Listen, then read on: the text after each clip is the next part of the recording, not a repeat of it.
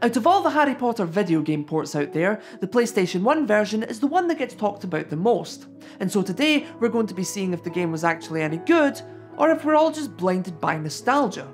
We're first greeted with a storybook cutscene, very similar to the PC port, but this one's so much more fancy. It has a full 3D environment, page turns, and it's all in colour too! Because apparently the PC wasn't capable of that. With the amount of detail they've added here, I can't wait to see the rest of the game. Oh my god!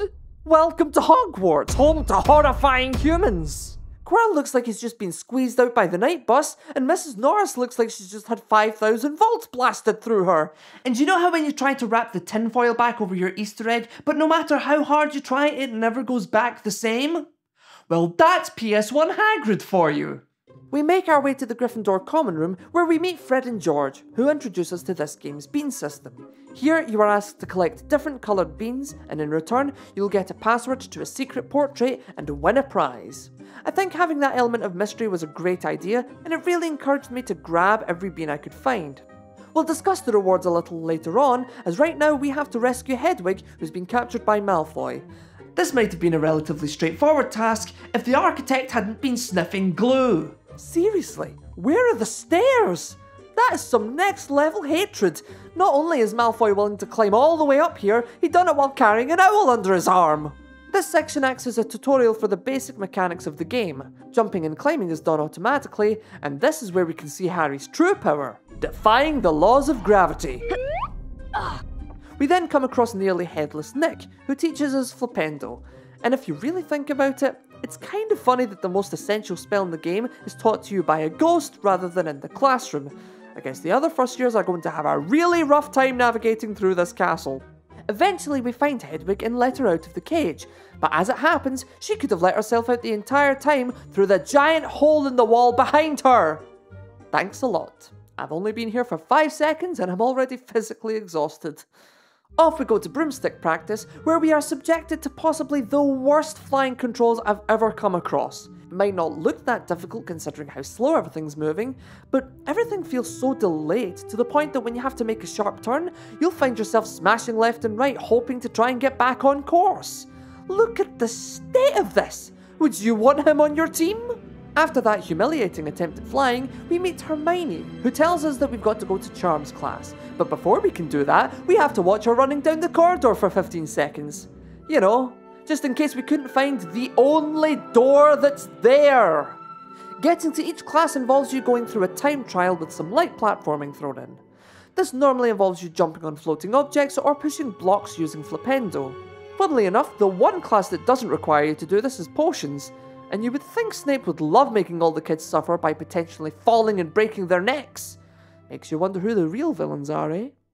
To learn a spell, you have to complete a rhythm minigame, which would make sense if Harry then later autocasted like he does in the PC version. But here, everything is a bit inconsistent. With Verdimillious, you just hit X and you're done. Cool. Wingardium Leviosa, you move the object to the correct place. Makes sense. Then there's Avifors and Incendio, which forces you to do a button pressing minigame every time you cast it. So, what is the point in doing this? I'd also like to add that casting Incendio traumatized me as a child.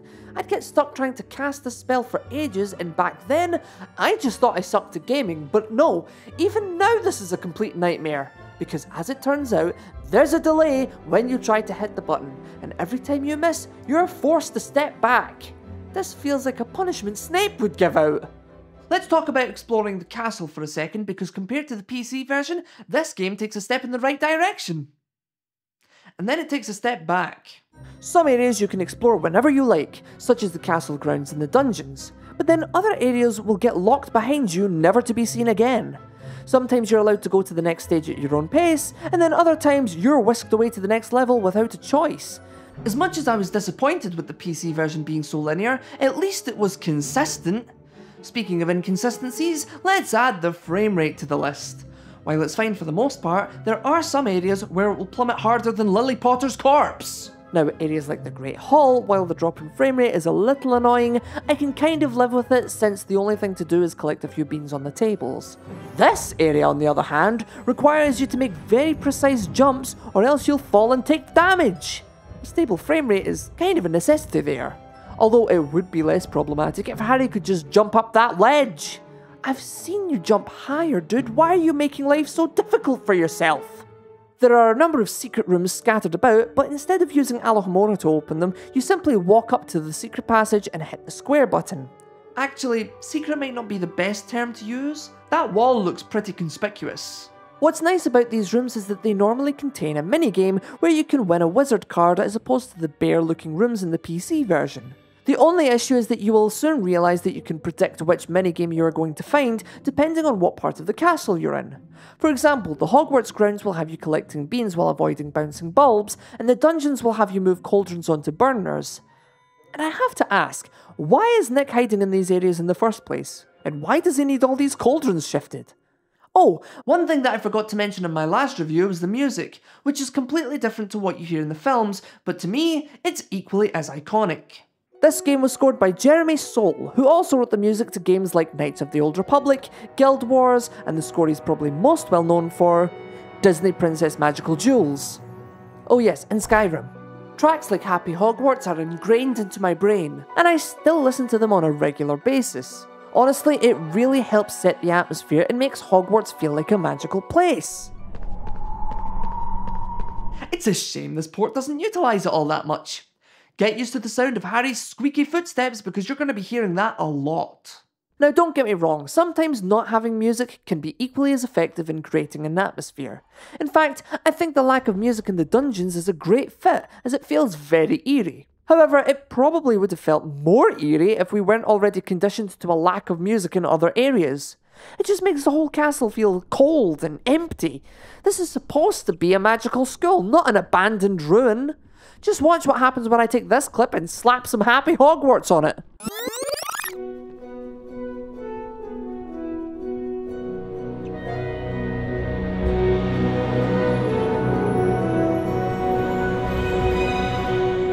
Tell me that doesn't just make you feel warm and fuzzy inside.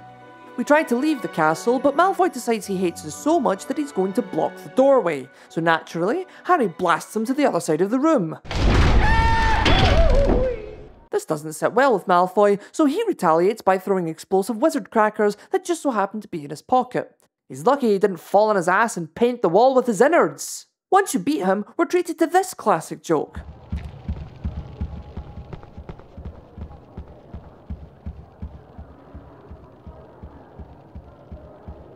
Which they somehow got wrong.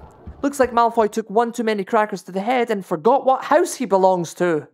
We then get this animation about the house points which pop up a few other times in the game, and despite the fact that it's only a minute long, it's the longest minute you'll ever have to sit through, especially when you remember that the house points are absolutely worthless because Gryffindor will always win. After we attend herbology class, Hagrid asks us the teeny tiny favour of jumping over lava to grab some fire seeds. Luckily, we avoid becoming the next Anakin Skywalker, but unfortunately for us, there's no time to rest, as we have to chase Malfoy all around the school to get Neville's Remembrall. This is followed up by McGonagall coming up to you like, Welcome to the Quidditch team, hurry up, there's a game on in five minutes. Gee, I wonder why Gryffindor hasn't won a game in years. They seem so organised. Also, does this mean that they've not had a seeker this entire time? If they did, that's going to be a bit of an awkward conversation. Hey you! We know you've been practicing for days, but we just thought we'd replace you with this first year who doesn't know what a snitch is! Oh no, sorry, I tell a lie. Harry knows all about Quidditch because Hagrid gives him a book about it when you give him the fire seeds. A book that Harry hasn't had a chance to read. Just to top it off, after the match, Snape claims that this is a library book and, I quote, Library books, by definition, are not to be taken from the library. Someone ought to break it to him that that's exactly how library books work. This eventually leads us to the dungeons, where we're introduced to the potion making mechanic. This is something that I wish was present in the PC port, however, despite its inclusion here, it's terribly implemented. First of all, you have to find yourself a cauldron and do yet another button pressing minigame, which is fine, but the only thing you can brew are health potions. This might not have been a problem if it wasn't for the fact that chocolate frogs also restore your health, and there are a lot more of them scattered around than cauldrons, so by the time you come across one, health isn't that big of an issue. At this point in the game, I notice I finally have enough Bertie Bott's beans to trade with Fred and George. Now, I've been looking forward to this moment since the idea was mentioned at the start of the game. And what do we get? Quidditch armor! You know, for those Quidditch sections that we get to play two, maybe three times. And we've already played one of them. Not the best prize, but it's okay. I've got enough to unlock another one. Let's see what's in here. A wizard card! Because we haven't already seen those. Okay, it's fine. There's another two to unlock. Let's just try the next one. Ah, the Nimbus 2000. Are you fing kidding me? More Quidditch gear? Here's an interesting question. If these two come from such a broke family, why are they buying the most expensive Quidditch items, stuffing it into the back of a portrait, and trading it for beans? We've got one more portrait for us to check out, but before we can do that, we first have to attend Transfiguration, then chase Peeves to get a parcel back which contains the invisibility cloak, which, by the way, would be a lot easier if the camera would just let me see where I'm going. How the hell is that fair? Once we do that, we have a stealth section where we have to sneak past Filch using the invisibility cloak. But why? It's never explained. The PC port had a very similar section, but that's set at night when students aren't allowed to wander the castle, and the reason Harry is out of bed is so he can sneak Norbert off to Ron's brother Charlie. The PlayStation version, on the other hand, just has Filch saying, Kids shouldn't be here! And then Harry's like, Oh yeah? Also, the way that the cloak works here is a little odd because in order to remain invisible, you need to find these invisibility tokens scattered around the level. Wait a minute. This game was published by EA. This must be where they got the idea for microtransactions. We then get a cutscene about the Mirror of Erised, followed by the troll chase to the girls' bathroom. Not much to say here since it's pretty much the same idea as the PC version, although someone really needs to fire the cleaner because there's green goo everywhere. By the time we reach the girls' bathroom to save Hermione, we have this awful section where we need to use Flipendo so we don't get hit in the head with a toilet. But well, look at it! Can't see because Harry's head's in the way. And if that wasn't bad enough, the controls feel all floaty. By the time I've finished the trolls section, I realise I have enough beans for the final portrait. And as luck would have it, Fred and George are standing right in front of me. We also get a note from McGonagall about a Quidditch match starting soon, so I think, okay, cool, let me just grab this portrait and I'll be right over. What? No! Come back! How cruel is that? They were dangling Fred and George right in front of me, like, oh, you want to trade those beans? You want to find the next secret?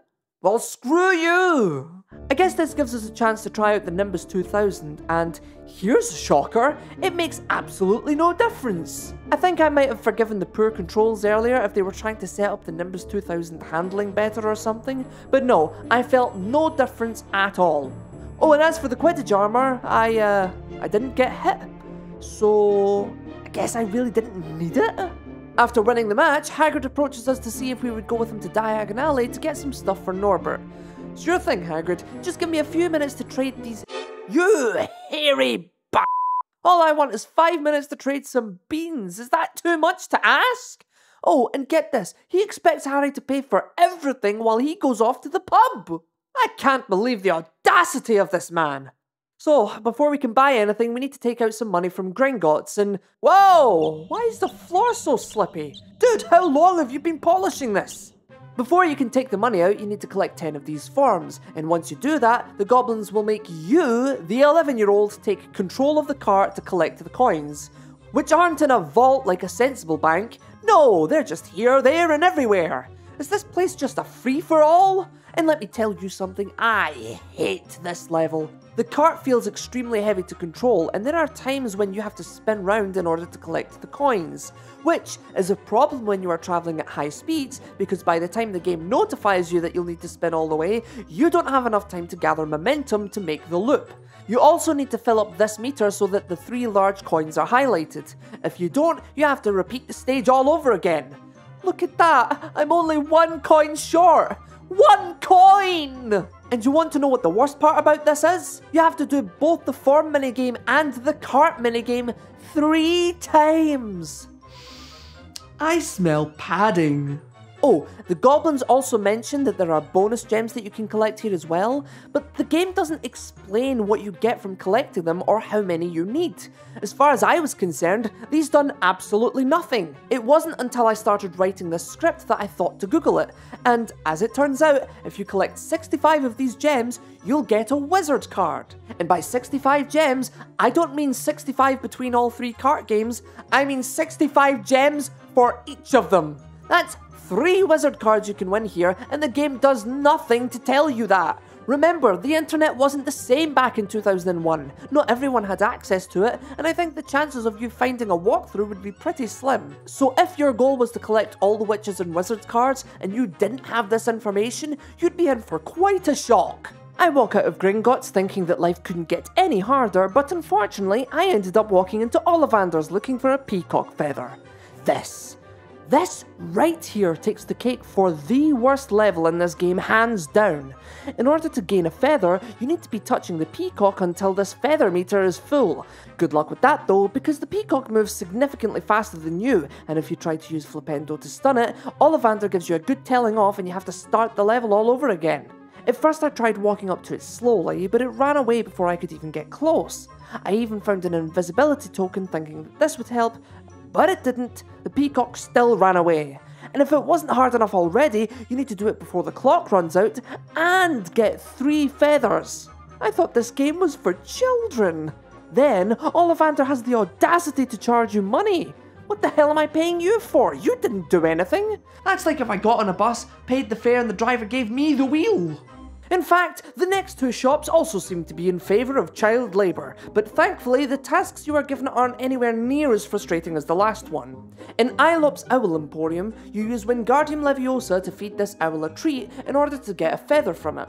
In the Magical Menagerie, you have to collect warts off a toad which keeps hiding in these boxes. But you can't shoot the boxes willy-nilly. No, you have to aim the boxes that shake, otherwise the shopkeeper will complain that you're wrecking her shop. Ever thought maybe you should be doing this job then? After all that, we end up in the Forbidden Forest looking for a wounded unicorn. Now this level wasn't included in the PC version, so it was nice for it to show up here, especially given the fact that it means Voldemort gets a proper introduction.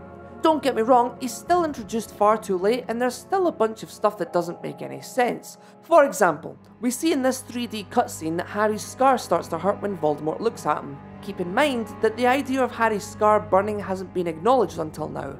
Hell, I'm pretty sure that the scar itself has never been mentioned either, so it kind of looks a bit goofy when Harry grunts and faints. While doing this part in 3D might be cool and ominous, I think it would have been a lot better to have it told as a storybook just so that the narrator could explain what's happening, especially since the rest of the scene gets played like that anyway. Also, I love the fact that despite Voldemort's name never being mentioned up until now, it's said that Harry just knew that he was under the hood. How? How on earth could you possibly know that? After that, Hagrid gives us a flute, which will come in handy to make Fluffy fall asleep later on.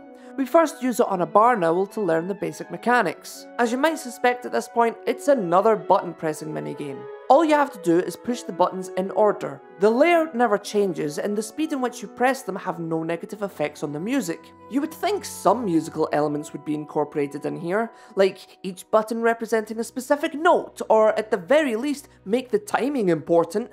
Finally, I can roam the castle again. So, off I go to trade those beans, but because it took so long for me to get back here, I can't remember where the portrait is.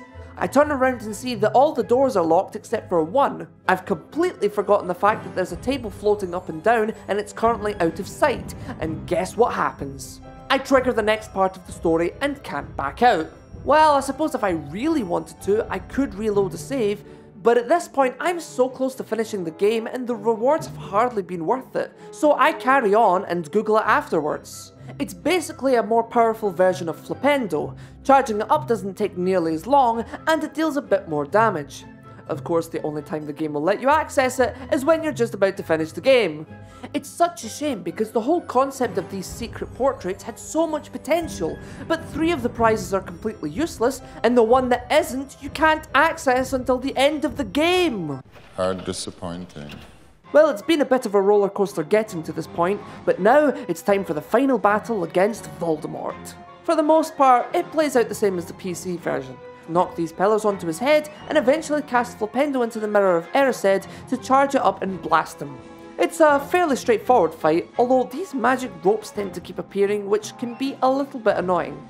I think they show up if you get hit by this green spell, but if that's the case, then there's a serious issue with the hit detection. I mean, look how far away I am! I managed to get a good chunk of his health down before we are treated to this lovely sight. This makes me feel uncomfortable.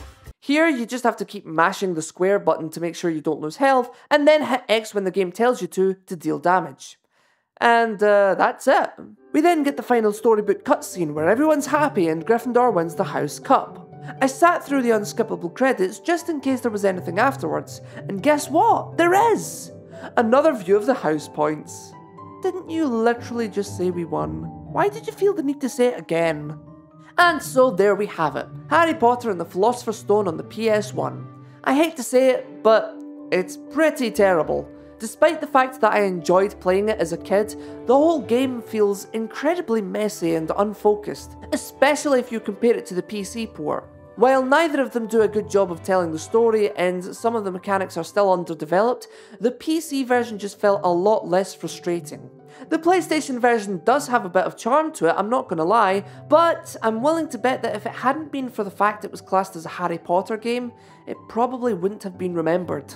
Now, there's one more port of Philosopher's Stone that I want to cover, which is the PlayStation 2 version. But I'm not going to cover that until I do Chamber of Secrets first.